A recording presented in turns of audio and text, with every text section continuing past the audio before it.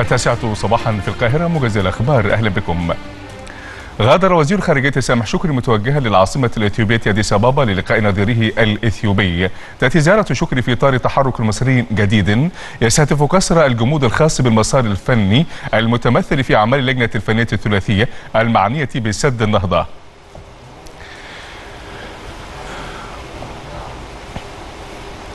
في خطوة مثيرة للجدل خصصت السودان جزيرة سواكن الواقعة في البحر الأحمر شرقي البلاد لتركيا كي تتولى إعادة تأهيلها وإدارتها لفترة زمنية لم تحددها. أكد رئيس تركيا أردوغان خلال زيارته للسودان أنه عرض موضوع الجزيرة على الرئيس السوداني الذي وافق على الفور.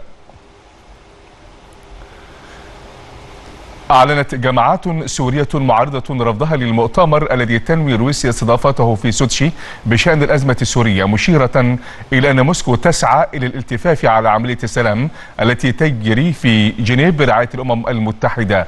وبحسب بيان لأربعين جماعة سورية معارضة فإن موسكو لا تمارس ضغوطا على الحكومة السورية للتوصل لتسوية سياسية. نهاية موجز الأخبار شكرا لكم وإلى ملتقى